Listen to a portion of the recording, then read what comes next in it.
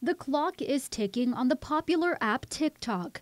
President Joe Biden signing a bill into law that presents ByteDance, TikTok's Chinese owned parent company, with an ultimatum either sell the app to an approved buyer within nine months or face a ban. The move to outlaw the app follows concerns over national security, as U.S. officials fear TikTok could be used by the Chinese government for data access and propaganda. And while local TikTok users say they find merit in that point, some aren't too pleased with the idea of a possible ban.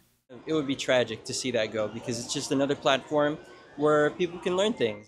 News of the possible ban also getting passionate responses from TikTokers who say it may threaten their livelihood. For some users like myself, like I used to make like I used to use TikTok like for monetization purposes and also just to share like the content and the knowledge that I learned from other people. Still, how soon a ban on the app might go into effect is murky. ByteDance has nine months to sell to an American buyer, but the president can also choose to push the deadline back by 90 days. Plus, should ByteDance sue to block the statute's implementation while the case is under judicial review, the clock on the ban would be paused.